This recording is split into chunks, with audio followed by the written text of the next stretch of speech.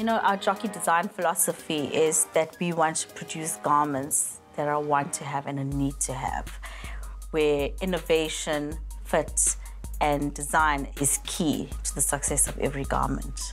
The most important things for the interns to keep in mind is that they have to be practical in what they're doing. We're not doing haute couture. It has to be comfortable in uh, the fit of an item underneath is a foundation garment. So it's got to fit like a second skin to the body. We want to deliver fresh and exciting products that suits every customer's need and still remain on trend.